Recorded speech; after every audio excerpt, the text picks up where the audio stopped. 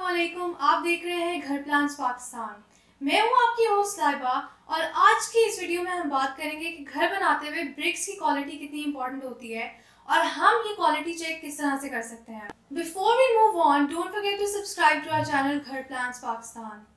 आज इस टॉपिक के ऊपर बात करने के लिए हमारे साथ मौजूद हैं सुहेल साहब। अस्सलाम वालेकुम कैसे हैं आप वालेकुम अस्सलाम जी अल्लाह का शुक्र सब ठीक ठाक आप तो- सुनाएँ। मैं बिल्कुल ठीक। हम लोग इस वीडियो में बात कर रहे हैं कि ब्रिक्स कितनी इंपॉर्टेंट होती हैं। तो मुझे बताएँ कि ब्रिक्स की क्वालिटी चेक किस तरह से की जा सकती है? आज जैसे कि आपने बताया कि ब्रिक्स एक बहुत इम्पोर्टेंट इंग्रेडिएंट है हमारे हाउस कंस्ट्रक्शन के अंदर। तो उस सिलसिले में कुछ थम रूल्स हैं जो हम यूज़ कर सकते हैं, कि जब आपकी ब्रिक्स आपकी साइट हाउस साइट पे आती हैं तो वहाँ पर नंबर एक तो ये कि ब्रिक का वज़न आप चेक कर सकते हैं। बड़े आसानी से वो तकरीबन टू पॉइंट सेवन के करीब वेट होता है उसका, जो अच्छी ब्रिक है। और उसका साइज़ देख सकते हैं कि उसकी साइज़ में जो आइडियल साइज़ है हमारे पास, वो nine inch by four point five by three inches है। जो कि एक आइडियल साइज़ है, जो कि आपको मिलता कम है, लेकिन आप कोशिश करें कि आप उसके करीब तर डायमेंशंस में रह सकें। अगर मटेरियल की कमी होगी तो साइज़ कम होगा। अगर मटेरियल की कमी है तो उसका वेट भी कम होगा। इट मीन्स कि ये आपके लिए एक थाम रूल हो जाएगा कि ब्रिक की मटेरियल में कोई कमी नहीं है।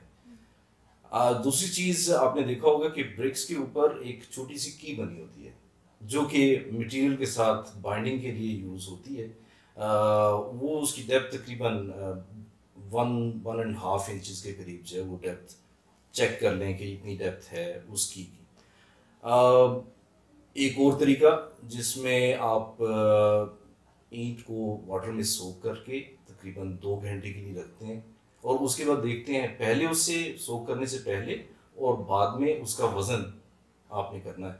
अगर तो वाटर की एब्जॉर्बशन जो है वो टेन टू ट्वेंटी परसेंट में रेंज कर रही है तो इट मीन्स के brick is of good strength otherwise अगर टेन टू ट्वेंटी परसेंट से कम है तो ब्रेक की ब्रेक की स्ट्रेंथ अच्छी नहीं है।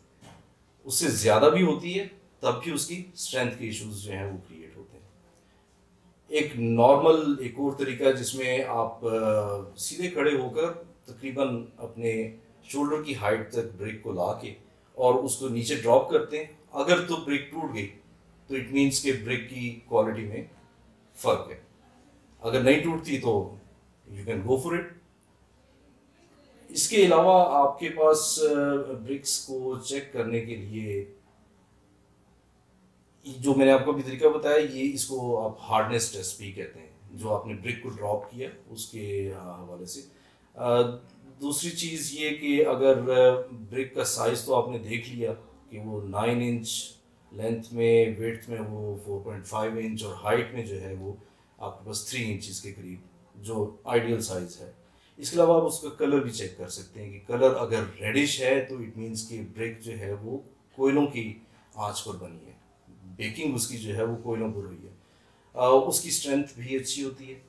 और अगर उसमें पिलाहट आ रही है तो पिलाहट जो है वो अ, आपके वेस्ट और टायर्स की मटेरियल की बर्निंग की वजह से जो है वो कुक हुई होती है। तो उसमें भी स्ट्रेंथ के इश्यूज़ जो हैं वो आते हैं। एक और तरीका जिसमें आप अ, हम उसको नॉर्मली साउंडनेस कहते हैं साउंडनेस ऑफ़ ब्रिक आप ब्रिक्स को आपस में टकरा कर देखते हैं तो अगर तो उसमें से बेल साउंड आती है तो इट मीन्स कि उसकी क्वालिटी उसकी बेकिंग वो एक गुड स्ट्रेंथ वाली ब्रिक है। अ, इसके अलावा और बहुत सारे तरीके हैं जो कि आप ब्रेक परचेज करने से पहले भी कर सकते हैं। मसलन के बहुत सारे इंस्टीट्यूट्स हैं जो कि आपको ये प्रोविज़न देते हैं कि आप अपने मटेरियल की टेस्टिंग जिसमें आप ब्रिक्स भी शामिल हैं, वो उनकी टेस्टिंग उनके पास अवेलेबल होती हैं। जो कि आप कोशिश करें ऑन साइट नहीं, लेकिन before purchase of your bricks selecting good brick आप उसमें उसका पहले टेस्ट करवा लें। जैसे कि P C S I R वालों की लेबॉर्ट्री है university of engineering and technology Lahore में वहाँ पर भी ये फैसिलिटी अवेलेबल है। तो आप वहाँ से इनके स्ट्रेंथ टेस्ट करवा सकते हैं। नॉर्मली जो आपको कोई भी आके अगर कहता है कि जी कि आपके, हमारे पास जो ब्रिक है, उसकी 1800 psi की स्ट्रेंथ है। तो 1800 जो लेवल है, वो एक अच्छी ब्रेक की स्ट्रेंथ होती है और आप उस ब्रेक को अपने हाउस कंस्ट्रक्शन में इजीली एट ईज यूज़ कर सकते हैं। अच्छा अगर हमें ये सारी बातें पता है लेकिन फिर भी हम सेटिस्फाइड नहीं है या हमें लग रहा है कि ब्रिक की स्ट्रेंथ जो है वो कम है तो इस सूरत में क्या किया जाए? नॉर्मली हाउस कंस्ट्रक्शन जो है वो आप ज़िम्मेदारी देते हैं कॉन्ट्रैक्टर को। अ, आपने ब्रिक्स का जो मैंने तरीकाकार बताया आपको अगर आप उस मुताबिक सेटिस्फाई नहीं हो रहे तो उसके लिए आप अपने कॉन्ट्रैक्टर को इस चीज़ के बारे में बताइए कि मुझे इनकी ब्रिक्स की स्ट्रेंथ में कुछ कमी पेशी लग रही है। उस चीज़ को वो आपका कॉन्ट्रैक्टर उन ब्रिक्स को चेंज करे तो बहुत अच्छी बात है। अगर वो इन्हीं ब्रिक्स के साथ जाता है तो आप उसके साथ बहस मुबासा कर सकते हैं। लड़ने की ज़रूरत नहीं है, लेकिन नॉर्मल आप बैठ के आराम सुकून से उन्हें बताएँ कि आप इनका टेस्ट करवा के मुझे दें। ताकि मैं अपने तौर पे सेटिस्फाई हो सकूँ। क्योंकि आपकी ब्रिक जो है वो आपके हाउस कंस्ट्रक्शन में आपके बाकी मटेरियल्स के साथ एक बड़ा बॉन्डिंग मटेरियल है। अगर क्योंकि सारे हाउस का घर का आपके लोड जो है वो इन्हीं मटेरियल्स ने उठाना है। कहीं भी कोई कमी बेशी आएगी तो आप खुदा न खास्ता कोई भी इशू रेज हो सकता है। Thank you so much for being us. Welcome I hope you find this video informative. For more videos, please subscribe to our channel. See you next time. बात करने के लिए आज हमारे साथ मौजूद हैं एक इंजीनियर सुहेल साहब बोलूँ मौजूद हैं इंजीनियर सुहेल साहब videos please subscribe to our channel until next time